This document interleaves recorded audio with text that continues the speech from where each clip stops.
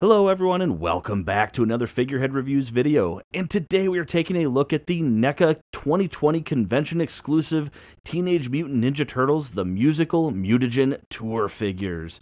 Here we have the turtles on the front box and it's a really big box. I couldn't even get it in one frame, but we can see all the turtles there on the front. On the back, you're going to see this really creepy cutout here of Raphael. And then down near the bottom, we get a set list, which is pretty cool. And then this sleeve is going to come off and reveal on the inside. We see what appears to look like a stage case here that you usually see, you know, storing different uh, concert equipment. But if we open the flaps here, you can see the turtles are secured inside. So enough about that. Let's get this open and take a look here at the turtles. And here are the turtles outside of their packaging. And hats off to NECA for the level of dedication they have to the Ninja Turtle fans. I don't think I have ever seen a set of action figures that I would consider to be more fan service than this. To have a set of figures based off of a tour that was done at the height of the turtle popularity is yeah, I mean, like I said, it's just total fan service. I, I really feel like only the most die-hard Ninja Turtle fans really are getting this set for the love of the nostalgia of, of the Turtles. I personally am a huge Turtles fan. It was a very big part of my childhood as a child of the late 80s and early 90s. So Ninja Turtles were I they were very much a part of my childhood but I did not go see this uh, coming out of their shells tour. I do remember seeing the VHS, and I remember seeing the advertisements for it.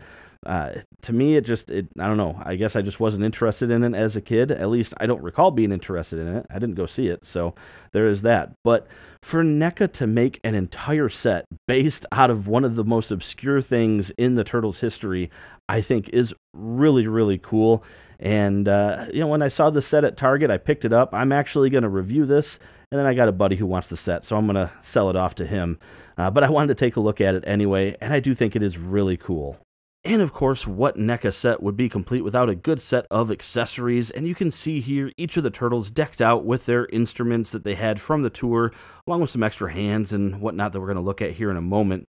But starting first here with Donatello and his instrument, he is going to have this keyboard here, which looks really well done. I mean, decent paint. And you can see match up the color scheme here. So if you don't know who is playing what instrument, they are going to be color coded. And then out of the box, each figure is going to have an appropriate set of hands on the figure already for playing their instrument. So you can see here that Donnie has a pointing finger for hitting the keys, but also it actually works really well to have him like pointing out to the crowd like I did in one of those 360 shots there. Then you have Raphael, who's going to have here, looks like just some sort of beat pad or something like that, I would assume. I, again, I didn't go see the tour, so, uh, but looks just like an electronic, you know, like I said, a beat pad. So pretty simple, nothing too crazy. And he is going to have these open hands with the fingers mostly together. You can see there is a gap there, but you do get that. And then it was pointed out on another reviewer that uh, in the DVD, Raphael, or rather the VHS back in the day, Raphael also had an alternate alternate instrument at one point with the saxophone, which is pretty well sculpted, and you do get some good paint details there on all the different brass pieces and things like that. So that is pretty cool. And then we do have Leonardo with what I'm assuming is maybe a bass, although it looks like it only has one string. But again, color coded, so you see the blue there. And I mean, not a whole lot going on with this, but like I said, I'm assuming that this is probably like a bass of some sort. And you can see he has these slightly open hands here and this one just a little bit different. Yeah, this one's open a little bit further than that one. So you can get that uh, holding or looking like it's strumming. And then in addition, we talked about the VHS. You do have this alternate little piece here because apparently on the VHS, Leo was seen having this almost reminds me of like Kiss with the face makeup. So he has this little piece here that you can put on and take off so that you do have alternate versions there based on uh, you know what you enjoyed there as a kid. And then lastly, we have Mikey here with what uh, I would assume is the guitar. Uh, again, it's only three strings, but we can see again color coded there with the orange and looks pretty good. And he's going to have these gripping hands here, so he can hold it right up here uh, at the neck without too much trouble. And this hand looks like he's actually, uh, it'd be great if they had like a little pick or something even sculpted on there. Uh, but it looks like he is going to be uh, strumming that guitar. And much like Leo, we do have, oh, where did I put it? There it is. We do have the alternate accessory for Mikey, which is this little star that goes in his mask so that he can have that alternate setup as well. So I think that's really cool that NECA included that. Now, in addition to those, we do get this pizza, which is, I mean, it's a little bit bendy and, uh, I mean, not a whole lot of detail to it. I guess I'd have to see the show to remember whether or not they had a, a very prop looking piece of pizza or not. And then lastly, we do get a bunch of alternate hands here. However, there's not a whole lot different to them. So you're going to get a set, two sets, left and right thumbs up hands. So you would technically have enough for each of the turtles to be given a thumbs up, just they'd have to be alternating hands.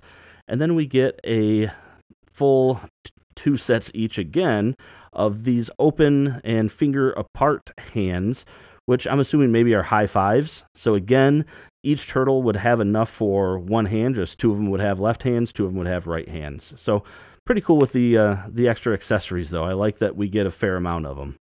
Now, in standing straight up, the turtles are going to come in at six and a half inches tall, which makes them about 16 and a half centimeters, and they are all the same body mold and heads and everything like that, so they're all going to be the same height. But since we already looked at all of their accessories, let's go ahead and jump in here and we're going to do some closer looks on the turtles in more detail.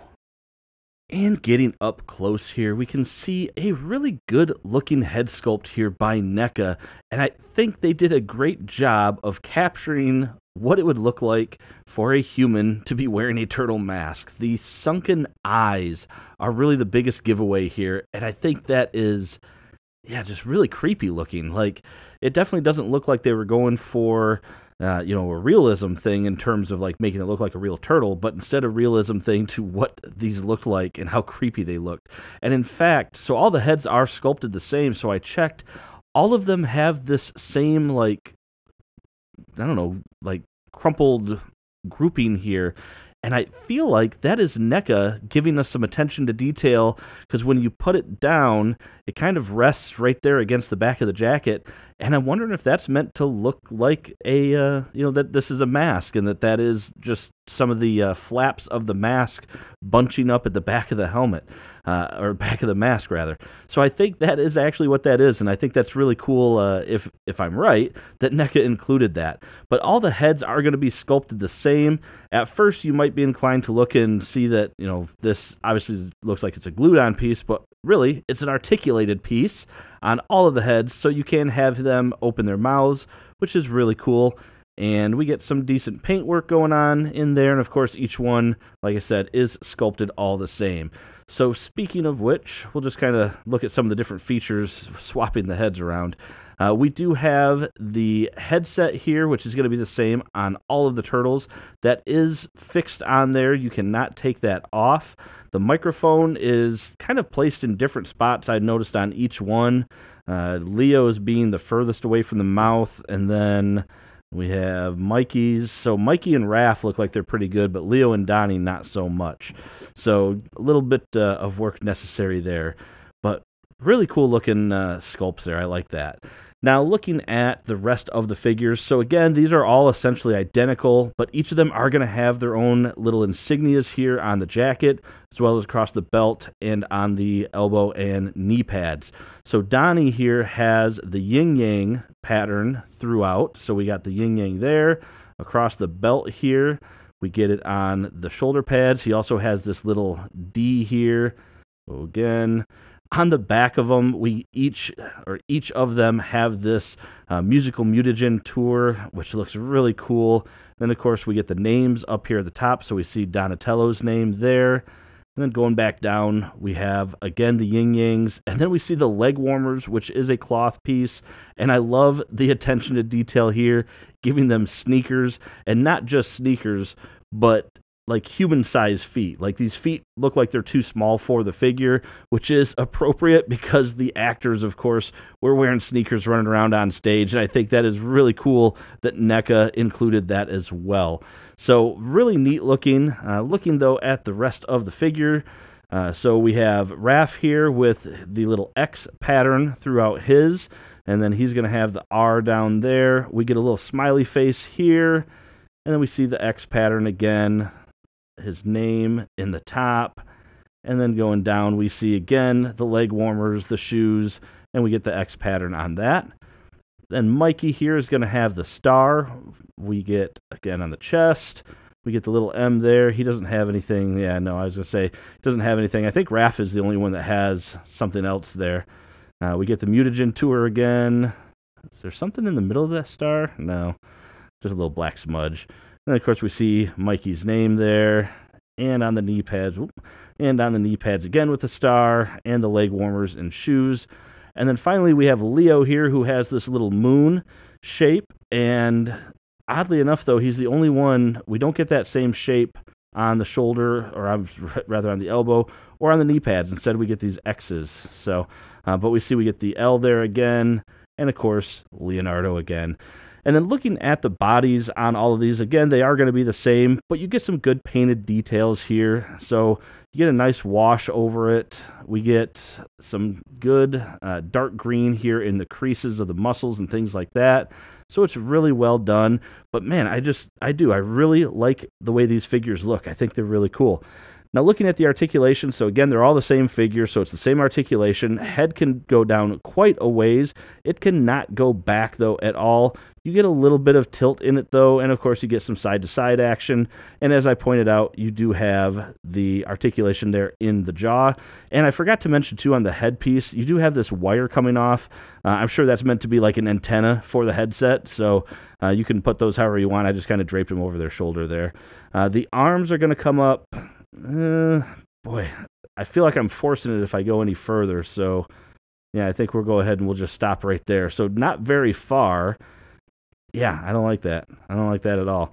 Um, I did notice Leo, this elbow pad is like further down than any of the others.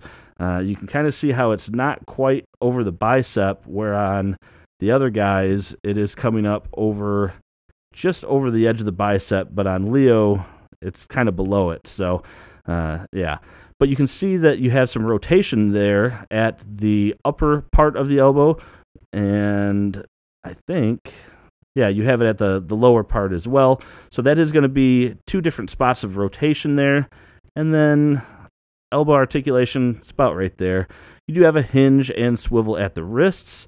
And then you are going to have on the inside of like underneath the shell here, you get a little bit of a wobble in the shoulders, so that's kind of cool. But we don't have any rotation or anything like that in the wrist, but you do get a little bit of that side to side action, as I mentioned. Legs kick forward. Eh, I don't. I feel like again, I'm I'm forcing it if I go too far. This is a soft material here, so there's no risk of like hurting anything. But it just yeah, it feels like it's not really going to go any further than that. Backwards, not really much at all. Legs can come apart, yeah, more than you need to, so that's good there.